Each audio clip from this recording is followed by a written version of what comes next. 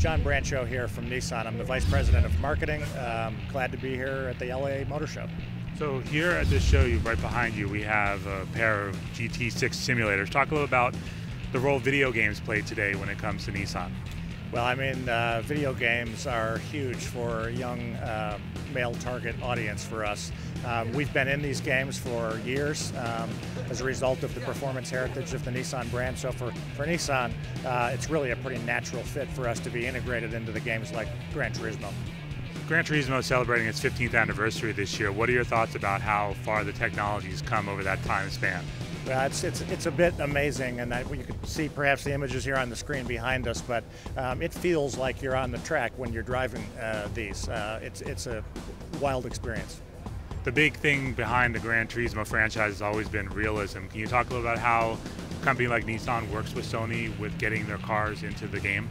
Uh, there's there's been a, a, lot of you know uh, collaborative um, work that's done uh, between our even our engineering teams getting the appropriate CAD data so that Sony can make it as real life as is possible um, in this experience. So there's massive collaboration as you would expect. I mean it's highly technical, obviously.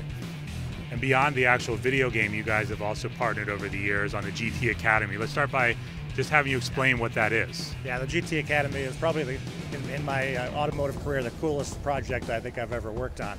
Um, we've actually created an environment where we can have uh, real gamers actually get the opportunity to become race car drivers through competing on Gran Turismo.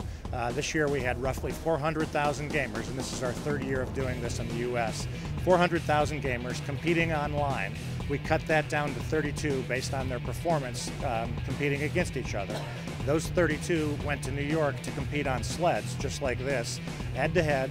Um, we took it down to 16, and then those 16 drivers get to go to Silverstone Raceway in England, one of the most famous racetracks, and get trained for a week. We filmed the entire thing, turned it into a reality TV show, and the winner uh, ends up being trained by Nissan first in Europe and then bringing them back to the United States as a real Nissan race car driver. So we've got a couple of, of winners in the last couple of years that are, you know, believe it or not, driving in the 24 hours of Dubai and, you know, in races all over the world. Imagine going from gamer to race car driver. It's bizarre.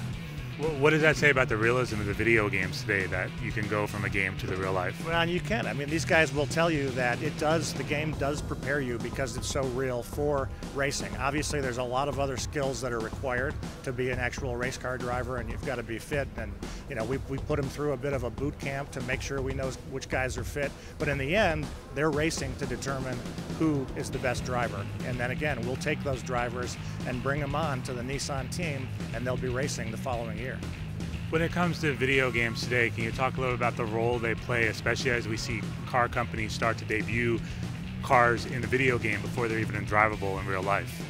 In terms of the, the just like the video games as a platform to debut oh, vehicles. Yeah. Well, you can get you know, and again, it's all it's virtual, but you can get real-time feedback in terms of what consumers may or may not want to see in the future. Um, so it's a great venue for us to get that type of feedback.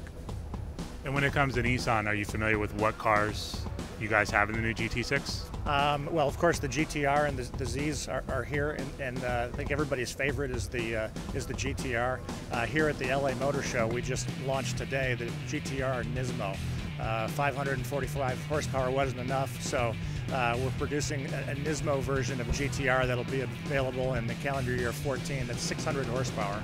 Um, just set a new world record um, at the Nürburgring, uh, seven minutes and eight seconds, and the car does zero to 60 in two seconds. And that's something that you guys would have collaborated on with Sony to get the actual car in there before it's even available. Well, that, this will this would probably migrate into the game in, in the next version. It's not something that's in there now, um, but again, because it's a virtual world, we have the liberty to create whatever we want in that world. And downloadable content allows you allows them to add new cars anytime they want as well. Absolutely, absolutely.